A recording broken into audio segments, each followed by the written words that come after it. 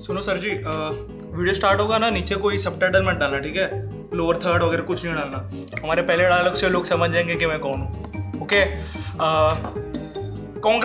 Congratulation Smriti और beautiful century I announce here that Rohit Sharma will be lifting the trophy this year but उसके लिए अभी USA का पड़ा हो चुका है वेस्ट इंडीज में टीम जा रही है तो क्या सेम इलेवन जाएँगे या क्या पॉसिबल कॉम्बिनेशन है?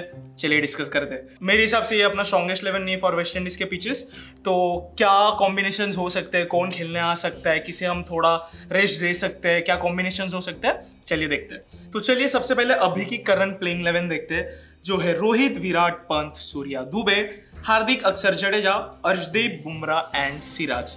और हमारे चार सब्सटीट्यूट्स है, कुलदीप चहल, जायसवाल एंड सैमसन ठीक है तो अगर कोई टीम कॉम्बिनेशन चेंज करनी हो कंडीशंस के हिसाब से खेलना हो तो इस लाइनअप में मुझे लगता है सबसे पहले विंडो है सिराज की। अगर हमें अपने बॉलिंग कॉम्बिनेशन चेंज करने होंगे तो सिराज को निकाल के हम एक्स्ट्रा स्पिनर खिला सकते हैं, जो कि वेस्ट इंडीज के पिचेस के लिए काफ़ी आइडियल होगा। और अगर हमने सिराज को निकाल भी दिया ना तो फिर भी अपने पास अर्शदीप बुमराह और हार्दिक पांड्या भी है, जो काफ़ी अच्छी बॉलिंग कर रहे हैं। तो आई थिंक तीन pacers are enough West Indies के पिचेस पे हम कुलदीप को ले सकते हैं। तो सबसे पहला चेंज जो एकदम पॉसिबल मुझे लगता है कि सिराज के बदले कुलदीप आ सकता है। और अगर बैटिंग में बैटिंग में अगर हमें किसी बैटर को चेंज करना है तो वो तो एक ही विंडो दिख रही है मुझे पूरे बैटिंग ऑर्डर में, जो है शिवम दुबे के फॉर्म में।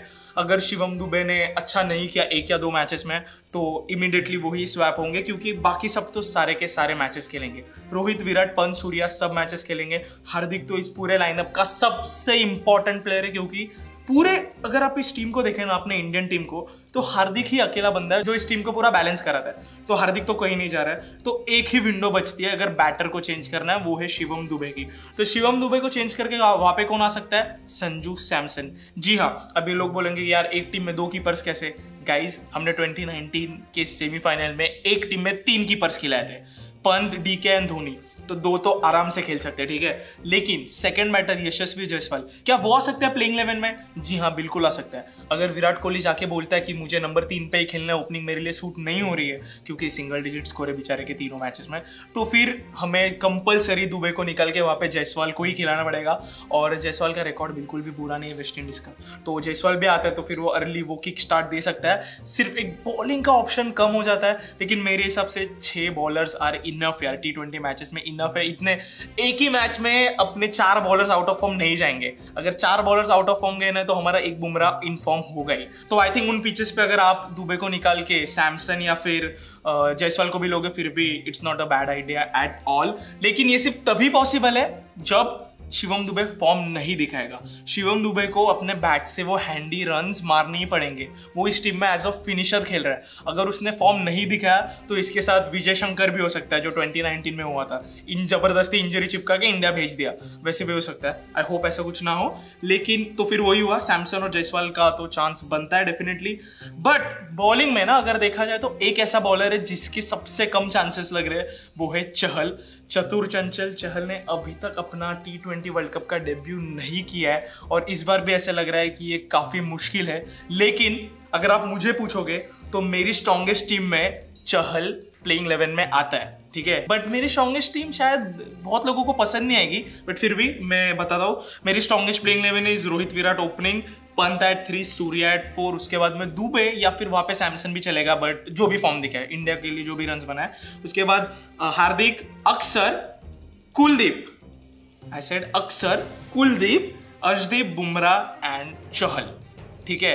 तो अगर आपने देखा होगा कि वेस्ट इंडीज में मैं तीन स्पिनर्स खिला रहा हूँ, जो है अक्सर कुलदीप और चहल। यस जडेजा मेरे स्ट्रॉन्गेस्ट टीम में नहीं बन रहे, क्योंकि अभी तक तो उनका zero runs zero wicket zero run out zero catches अभी तक तो उनका कुछ भी कंट्रीब्यूशन नहीं है और टी ट्वेंटी में उनका स्टार्ट वगैरह भी अच्छा नहीं और अक्षर पटेल, जो काफ़ी सिमिलर है उनके एक्शन से और पूरा एज अ प्लेयर भी तो मुझे लगता है अक्षर पटेल एकदम ही इन्फॉर्म प्लेयर है। विकेट्स भी ला रहे हैं, वो हैंडी रन भी दे रहे हैं। अर्ली विकेट जा रहे तो आप उसे फोर पे भेजो, नीचे फिनिश करना है तो उसे सेवन पे भेजो। तो अक्षर पटेल को तो मुझे लगता है अक्षर पटेल तो पूरा टूर्नामेंट खेलेगा। तो जडेजा को आप निकाल सकते हो अगर आपको कुलचा साथ में चाहिए, लेकिन ऐसा होगा नहीं, क्योंकि हमारा माइंडसेट ऑस्ट्रेलियन माइंडसेट से काफ़ी अलग है। तो आपको भी पता है वैसा होगा कि नहीं? तो ये थी मेरी स्ट्रॉन्गेस्ट इलेवन और जैसे कि मैंने आपको पहले ही बताया था कि सिर्फ़ दो ही विंडोज़ है जहाँ पे हम प्लेयर्स को चेंज कर सकते हैं। वो है दुबे और सिराज। प्लीज़ अक्षर पटेल को चेंज नहीं करना चाहिए बट हमें पता है एट द एंड किससे सब्सटीट्यूट की जर्सी पहननी पड़ती है। But to be very honest मुझे लगता है कि संजू सैमसन से भी ज़्यादा रिंकू सिंह का चांस है प्लीज़ प्लेइंग इलेवन में खेलने का।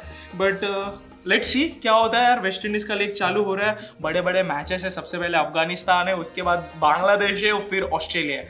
तो लेट्स होप कि अपनी ये टीम जीते।